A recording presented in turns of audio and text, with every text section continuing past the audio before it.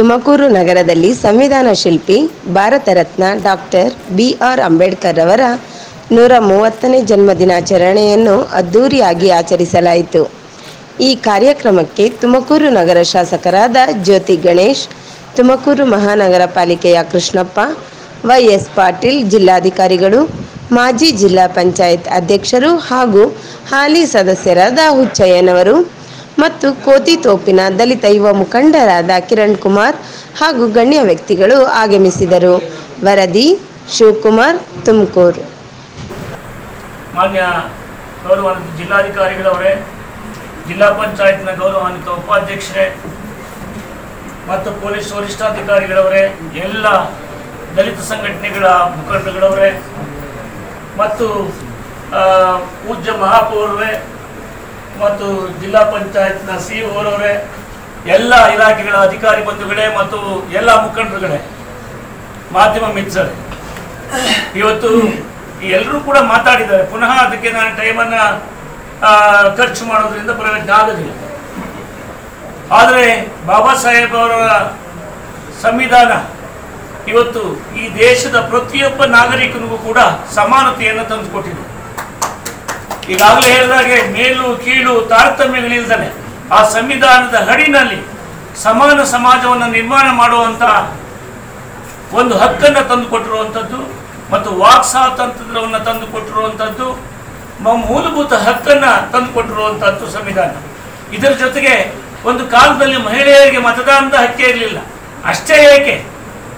ಒಬ್ಬ ಸಾಮಾನ್ಯನಿಗೂ ಕೂಡ ನಾನು ಜ್ಞಾನ ಬಂದ್ಮೇಲೂ ಕೂಡ ನಮ್ಗೆ ಯಾರಿಗೂ ಮತದಾನದ ಹಕ್ಕಿರಲಿಲ್ಲ. ಮತದಾನದ ಹಕ್ಕಿದ್ದು ಯಾರೋ ಪಾಣಿ ಪಟ್ಟೆ ಆ, ಇಟ್ಕೊಂಡಂತ ಜಮೀನ್ದಾರರುಗಳಿಗೆ ಬಂಡವಾಳಶಾಹಿಗಳಿಗೆ ಅಂತಹ ಮತದಾನದ ಬಹಳಷ್ಟು ಈ ಪ್ರಜಾಪ್ರಭುತ್ವದ ಅಡಿನಲ್ಲಿ ಎಲ್ಲರೂ ಕೂಡ ಪ್ರಜೆಗಳೆಲ್ಲರೂ ಕೂಡ ಪ್ರಭುಗಳು ಅಂತ ಅನ್ನೋ ಒಂದು ಒಂದು ತತ್ವದ ಅಡಿನಲ್ಲಿ ಇವತ್ತು ಎಲ್ಲರೂ ಕೂಡ ಮತದಾನದ ಹಕ್ಕನ್ನು ಪಡ್ಕೊಳ್ಳುವಂತ ಒಂದು ಮಹಾನ್ ಶಕ್ತಿಯನ್ನು ಕೊಟ್ಟಂತವರು ಬಾಬಾ ಸಾಹೇಬ್ ಅಂಬೇಡ್ಕರ್ ಅವರು.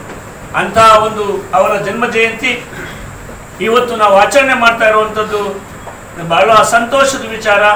ಇದಕ್ಕೆ ಎಲ್ಲರೂ ಕೂಡ ಬಾಯಿಗಳಾಗಿದ್ದೀರಿ ಮತ್ತು ಯಾವತ್ತೂ ಕೂಡ ಪೂರ್ವಾಗ್ರಹ ಪೀಡಿತವಾದಂಥ ಭಾಷೆಯನ್ನ ಇಂಥ ಸಂದರ್ಭದಲ್ಲಿ ಬಳಸುವಂಥದ್ದು ಅದು ಸರಿಯಾದಂಥ ಕ್ರಮ ಅಲ್ಲ.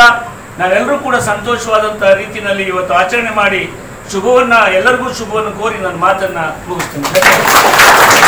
ಅಡಿಯಲ್ಲೇ ಯಾವುದೇ ಸರ್ಕಾರ ಎಲ್ಲ ನಿರ್ಧಾರಗಳನ್ನು ತಗೊಳ್ತದೆ. ಅಂಥ ದಿವಸ ಸರ್ಕಾರವನ್ನು ಇಲ್ಲಿ ನಿಂತುಕೊಂಡು ಟೀಕಾ ಮಾಡುವಂಥದ್ದು ಆಗಬಾರ್ದು ಅನ್ನೋದು ನನ್ನ ಪ್ರಥಮ ಮನವಿ. ಯಾಕಂದರೆ ಯಾವುದನ್ನು ಯಾವುದನ್ನು ಸಹಿತ ಕಾನ್ಸ್ಟಿಟ್ಯೂಷನ್ ಅಡಿಯಲ್ಲಿ ತಗೊಂಡಂಥ ನಿರ್ಧಾರಗಳನ್ನು ನಾವು ಅವ್ರ ಜಯಂತಿ ನಿಮಿತ್ತದಲ್ಲಿ ಟೀಕಾ ಮಾಡುವಂಥದ್ದು ಆಗಬಾರ್ದು ಅಂತ ನನ್ನ ಮನವಿ ಅಷ್ಟೇ. ಅವರವರ ಅಭಿಪ್ರಾಯಕ್ಕೆ ಅದೇ ಸಂವಿಧಾನದಲ್ಲೇ ಹಕ್ಕು ಕೊಟ್ಟಿದ್ದಾರೆ. ಅವರಿಗೆ ಬಿಟ್ಟು ವಿಷಯ ಅದು. ಆದರೆ ಜಿಲ್ಲಾಡಳಿತದ ಪರವಾಗಿ ಸರ್ಕಾರದ ಒಂದು ನಿರ್ದೇಶನದ ಅಡಿಯಲ್ಲಿ ನಾವು ಆಚರಿಸುವಂಥ ಕಾರ್ಯಕ್ರಮಗಳಲ್ಲಿ. ದಯಮಾಡಿ ನಾವು ಮುಂದೆ ಮುಂಬರುವ ದಿನಗಳಲ್ಲಿ ಇಲ್ಲದಿದ್ದರೆ ನಾವು ಫಸ್ಟ್ ನಿಮ್ಮದು ಸ್ಕ್ರೀನ್ ಮಾಡಿ ನಾವು ಅವಕಾಶ ಕೊಡಬೇಕಾಗ್ತದೆ ಮಾತಾಡೋಕ್ಕೆ. ಅದಕ್ಕಾಗಿ ಸರ್ಕಾರವನ್ನು ಯಾವುದೇ ಸರ್ಕಾರ ಇರಲಿ, ಈ ಸರ್ಕಾರ ಮತ್ತೊಂದು ಸರ್ಕಾರ, ಇನ್ನೊಂದು ಸರ್ಕಾರ, ಅದು ಟೀಕಾ ಮಾಡುವಂಥದ್ದು ಆಗಬಾರ್ದು. ಇದು ಒಂದು. ಯಾಕಂದರೆ ಈ ಕರೋನಾ ಸಂದರ್ಭದಲ್ಲಿ ಕಾನ್ಸ್ಟಿಟ್ಯೂಷನಲ್ಲೇ ಹೇಳ್ತಾರೆ, ಮೊದಲು ಜೀವ ಜೀವ ಉಳಿಬೇಕು, ಜೀವ ಉಳಿದ ಮೇಲೇ ದೊಡ್ಡವರು ಸಣ್ಣವರು. ಅದು ಜೀವ ಉಳಿಸ್ಕೊಳ್ಳೋದು, ಶಕ್ತಿ ಇದ್ದವರು ಬೇಗ ಉಳಿಸ್ಕೊಳ್ತಾರೆ. ದೊಡ್ಡ ದೊಡ್ಡ ಹಾಸ್ಪಿಟಲ್ಗಳೆಲ್ಲ ಹೋಗಿ ದಲಿತರು, ಹಿಂದುಳಿದವರು ಅವಕಾಶ ಇಲ್ಲದವರು, ಅವರು ಇಂಥ ನಿಯಮಗಳನ್ನು ಪಾ, ಪಾಲಿಸಲಿಲ್ಲ ಅಂದರೆ, ಅವರಲ್ಲಿರೋ ರೆಸಿಸ್ಟೆನ್ಸ್ ಪವರ್ ಕಡಿಮೆ ಇರೋದರಿಂದ ಅವ್ರಿಗೆ ಇಂಥ ಅವಕಾಶಗಳನ್ನು ಪಡೆದುಕೊಳ್ಳೋದು ಕಷ್ಟ ಆಗ್ತದೆ ಅಂತ ಹೇಳಿ ಸರ್ಕಾರ ಒಂದಿಷ್ಟು ನಿರ್ಧಾರಗಳನ್ನು ತಗೊಂಡಿರ್ತದೆ. ಅದನ್ನು ನಾವು ಚಾಚು ತಪ್ಪದೆ ಪಾಲಿಸುವುದು ಅದು ಬದಲಾವಣೆಯ ಯಾರು ಪಾಲಿಸಿ ಮೇಕಿಂಗಲ್ಲಿ ಇರ್ತಾರೆ ಅವರು ಬದಲಾವಣೆ ಮಾಡುವಂಥ ನಿರ್ಧಾರವನ್ನು ಅವರವ್ರ ಮಟ್ಟಕ್ಕೆ ತಗೊಳ್ಬೋದು. ಒಂದು. ಎರಡನೇದು ತಮಗೆಲ್ಲ ಗೊತ್ತಿದೆ ಈ ನಾವು ಈ, ಮೊದಲನ್ನು ನಾವು ಭಾಳಷ್ಟು ಜನ ಮಾತಾಡ್ತೀವಿ. ಯಾವುದೇ ಒಬ್ಬ ಜನನಾಯಕನನ್ನು ಸಮುದಾಯಕ್ಕೆ ಸೀಮಿತಗೊಳಿಸಬಾರ್ದು ಅಂತ ಹೇಳಿ ನಾವು ಪ್ರತಿ ಸಲ ಮಾತಾಡ್ತೀವಿ ಡಾಕ್ಟರ್ ಬಾಬಾ ಸಾಹೇಬ್ ಅಂಬೇಡ್ಕರ್ ಅಂದರೆ ಅವರು ಬೆಳಕು. ಆ ಬೆಳಕಿಗೆ ಯಾವುದೇ ಸಮುದಾಯ ಇರುವುದಿಲ್ಲ. ಬೆಳಕು ಪ್ರತಿಯೊಬ್ಬರಿಗೂ, ಎಲ್ಲರಿಗೂ ಬೆಳಕೆ. ಅಂದರೆ ಎಲ್ಲರಿಗೂ ಸಂಬಂಧಿದ್ದವರು, ಎಲ್ಲರೂ ಅವರು ಬರೆದಂಥ ಸಂವಿಧಾನದಲ್ಲೇ ನಾವು ಇಲ್ಲಿ ನಿಂತುಕೊಂಡು ಮಾತಾಡ್ತಾ ಇರೋದು ಎಲ್ಲರೂ ಸಂವಿಧಾನದಲ್ಲಿ ಅವಕಾಶ ಕಲ್ಪಿಸಿ ಕೊಂಡ ಮೇಲೇ ಅವರವರು ತಮ್ಮ ಕಾರ್ಯಗಳನ್ನು ನಿರ್ವಹಿಸ್ತಾ ಇರೋದು ಇದರಲ್ಲಿ ಅತ್ಯಂತ ಮುಖ್ಯವಾಗಿ ಅಂದರೆ, ಅವರು ಎರಡು ಭಾಳ ಮುಖ್ಯವಾದ ವಿಷಯಗಳನ್ನು ಹೇಳ್ತಾರೆ. ಒಂದು ಸಮಾನತೆ ಬಗ್ಗೆ. ಪ್ರಜಾ, ಪ್ರಜಾಪ್ರಭುತ್ವ ನಿಲ್ಲಬೇಕಾದರೆ ಸಮಾನತೆ ಬರಬೇಕು ಅಂತ. ಅದರ ಬಗ್ಗೆ ಬಹಳ ಸಲ ಒತ್ತು ಕೊಟ್ಟು ಕೊಟ್ಟು ಹೇಳ್ತಾರೆ. ಆ ಸಮಾನತೆ ಆಧಾರದಲ್ಲೇ ಈಗ ಅವರು ನಮ್ಮ ಸ್ನೇಹಿತರು ಈಗ ಏನು ಮಾತಾಡಿದರು. ಸಮಾನತೆ ಆಧಾರದಲ್ಲೇ ಮಹಿಳೆಯರಿಗೆ ಈಗ ಹಕ್ಕು ಸಿಕ್ಕಿದೆ. ಸಮಾನತೆಯ ಆಧಾರದ ಮೇಲೇ ಈ ಮೊದಲು ಡೈವರ್ಸ್ ಮಾಡೋದನ್ನು ಹೆಣ್ಮಕ್ಕಳಿಂದ ಬರುವಂಥದ್ದು ಸಾಧ್ಯನೇ ಇರಲಿಲ್ಲ. ಈಗ ಅವರು ಸಹಿತ ಅಪ್ಲೈ ಮಾಡ್ಬೋದು. ಅಂದರೆ ಪ್ರತಿಯೊಬ್ಬರಿಗೂ ಸಮಾನತೆಯ ಹಕ್ಕಿದೆ ಅನ್ನೋದನ್ನು ಅವರು ಭಾಳ ಸ್ಪಷ್ಟವಾಗಿ, ಸುಸ್ಪಷ್ಟವಾಗಿ ಹೇಳಿದ್ದಾರೆ.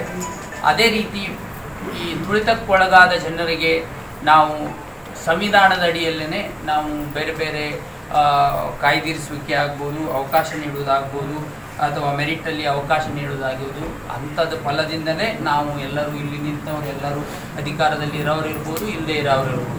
ಎಲ್ಲ ಎಲ್ಲ ರೀತಿಯಿಂದಲೂ ಸಂವಿಧಾನದಲ್ಲೇ ಅವಕಾಶ ಇದೆ. ಅದೇ ರೀತಿ ನಾವು ಏನು ಮಾಡಬೇಕು ಅನ್ನೋದು ಬಹಳ ಮುಖ್ಯ. ಡಾಕ್ಟರ್ ಬಾಬಾ ಸಾಹೇಬ್ ಅಂಬೇಡ್ಕರ್ ಅವರಿಗೆ ಇದ್ದಂಥ ಅಗಾಧವಾದ ಜ್ಞಾನ, ಆ ಆ ಸಮಯದಲ್ಲಿ ಅವರಿಗೆ ಇದ್ದದ್ದು ಅಗಾಧವಾದ ಜ್ಞಾನದಿಂದನೇ ಅವರಿಗೆ ಸಂವಿಧಾನವನ್ನು ರಚಿಸುವಂತಹ ಅತ್ಯಂತ ಮುಖ್ಯ ಹುದ್ದೆಯನ್ನು ನಿಭಾಯಿಸುವಲ್ಲಿ ಅವರಿಗೆ ಅವಕಾಶ ಕೊಟ್ಟರು. ಈಗಲೂ ಸಹಿತ the most vibrant and genius person ಅಂದರೆ ಡಾಕ್ಟರ್ ಬಾಬಾ ಸಾಹೇಬ್ ಅಂಬೇಡ್ಕರ್ ಅವರನ್ನೇ. ಆಮೇಲೆ ಕಾನ್ಸ್ ಸಂವಿಧಾನ ಶಿಲ್ಪಿ ಅನ್ನೋದಕ್ಕಿಂತ ಹತ್ತೊಂಬತ್ತು ನೂರ ನಲವತ್ತೇಳರ ನಂತರ ದ ಅತ್ಯಂತ ಪ್ರಭಾವಿತ ವ್ಯಕ್ತಿ ಯಾರು ಅಂತ ಹೇಳಿ ಒಂದು ಇದನ್ನು ಮಾಡ್ತಾರೆ ಸರ್ವೆ. ಸರ್ವೇದಲ್ಲೇನು ಅತ್ಯಂತ ಪ್ರಭಾವಿತ ವ್ಯಕ್ತಿ ಮತ್ತು ಪ್ರಭಾವವನ್ನು ಇದುವರೆಗೆ ಉಳಿಸಿಕೊಂಡವರು ಸಂವಿಧಾನದ ನಂತರ ಬದುಕಿದಂಥ ವ್ಯಕ್ತಿಗಳಲ್ಲಿ ಇವರು, ಮೊದಲಿಗರು, ಈಗ ನಿಮಗೆಲ್ಲ ಗೊತ್ತಿದೆ ವಿಶ್ವದಾದ್ಯಂತ ಇವರನ್ನು ಗೌರವಿಸದಂಥ ವ್ಯಕ್ತಿಗಳೇ ಇಲ್ಲ.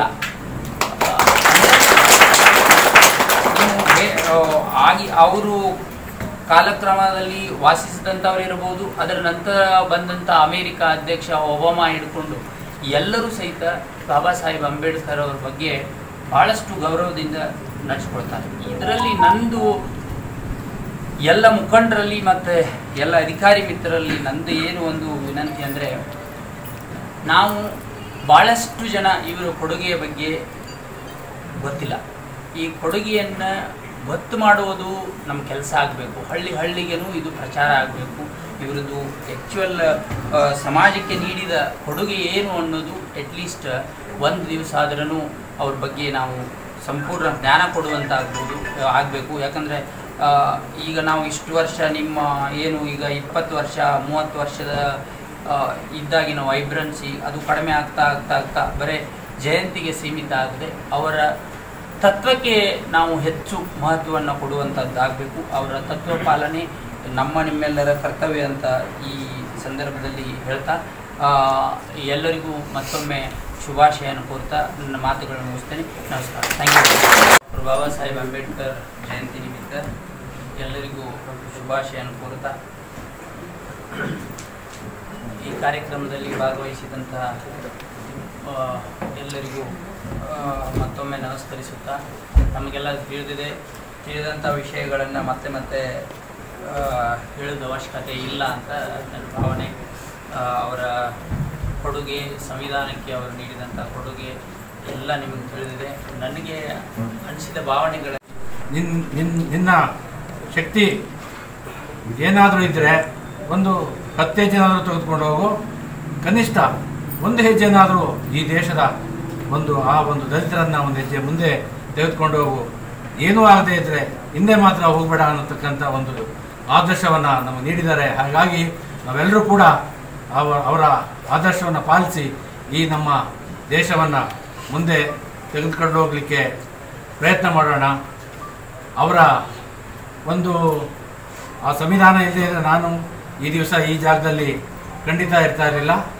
ಆ ಒಂದು ಜಾಗಕ್ಕೆ ನನ್ನನ್ನು ಕರ್ನಾಟಕ ಸರ್ಕಾರ ಆ ಒಂದು ಪರಿಶಿಷ್ಟ ಪಂಗಡ, ಪಂಗಡದ ಒಂದು ಮೀಸಲಾತಿಯನ್ನು ತಂದು ಸುಮಾರು ವರ್ಷಗಳ ನಂತರ ನನ್ನನ್ನು ಈ ಒಂದು ಪಾರ್ಟಿಯ ಮಹಾಪೌರ ಮಹಾಪೌ ಪೌರನನ್ನಾಗಿ ಇಲ್ಲಿ ಕೂರಿಸಿದ್ದಾರೆ. ನನ್ನೆಲ್ಲರಿಗೂ ಕೂಡ ಧನ್ಯವಾದಗಳನ್ನು ಅರ್ಪಿಸ್ತಾ ನನಗೆ ಮಾತಾಡಲಿಕ್ಕೆ ಡಾಕ್ಟರ್ ಬಿ ಆರ್ ಅಂಬೇಡ್ಕರ್ ಮತ್ತು ಬಾಬು ಜಗಜೀವನರಾಮ್ ಜಯಂತಿ ಆಚರಣೆ ಎನ್ ಆರ್ ಕಾಲೋನಿ ಗೋಧಿದೋಪದಲ್ಲಿ ಇದು ನೂರ ಮೂವತ್ತನೇ ಅಂಬೇಡ್ಕರ್ ಜಯಂತಿ ಆಚರಣೆ ಮಾಡ್ಕೊಂಡು ಬರ್ತಾ ಇದ್ದೀವಿ. ಡಾಕ್ಟರ್ ಬಿ ಆರ್ ಅಂಬೇಡ್ಕರ್ ಯುವಕರ ಸಂಘದಿಂದ. ಪ್ರತಿ ವರ್ಷದಂತೆ ಈ ವರ್ಷವೂ ಆಚರಣೆ ಮಾಡ್ಕೊಂಬರ್ತಾ ಇದ್ದೀವಿ. ಹೋದ ವರ್ಷ ಕೋವಿಡ್ ಇರೋದ್ರಿಂದ ಮಾಸ್ಕ್ ವಿತರಣೆ ಮಾಡಿದ್ದು ಈ ವರ್ಷ ಹೆಸರುಬೇಳೆ ಪಾಂಕಂ ಮಜ್ಜಿಗೆ ಮಾಡಿದ್ದೀವಿ. ಪ್ರತಿ ವರ್ಷ ಏನಾರ ಒಂದು ಮಾಡ್ತಾನೆ ಇರ್ತೀವಿ. ಅಂಬೇಡ್ಕರ್ ಜಯಂತಿ ಪರವಾಗಿ ಆಚರಣೆ ಪ್ರತಿ ವರ್ಷ ಮಾಡ್ಕೊಂಡೇ ಬರ್ತಾ ಇದ್ದೀವಿ.